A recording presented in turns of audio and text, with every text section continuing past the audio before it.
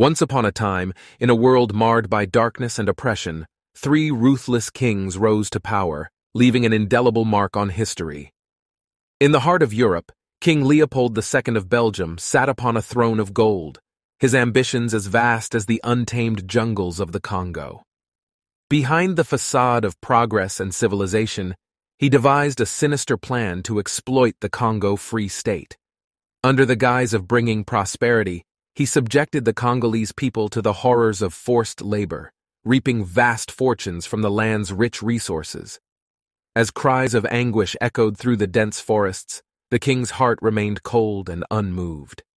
In the east, across the vast steppes of Asia, Attila the Hun, a fearsome warrior, stood as an embodiment of barbarity. With each conquest, his thirst for power and bloodshed grew insatiable. The tales of his brutality spread like wildfire, striking fear into the hearts of those who dared oppose him. As he swept through Gaul, villages were reduced to ashes, and the rivers ran red with the blood of the innocent. Attila showed no mercy, sparing not even the elderly or the children, leaving behind a trail of devastation.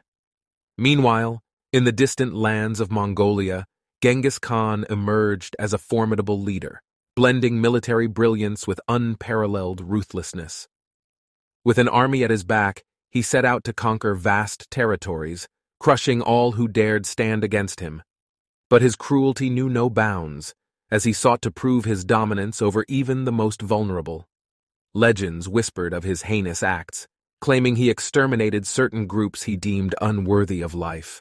As time marched on, the echoes of their tyranny reverberated throughout the ages, and so the story of the three most cruel kings serves as a solemn reminder, urging us to learn from the mistakes of the past and to strive for a world where compassion and empathy prevail over cruelty. In the end, it is the choices we make that determine the legacy we leave behind, whether one of darkness or of light. Thank you for watching this video. Kindly subscribe to my channel to see more videos like this in future.